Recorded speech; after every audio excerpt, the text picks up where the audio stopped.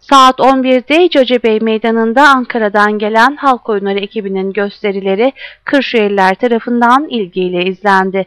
Gösteriler hafta boyunca devam edecek.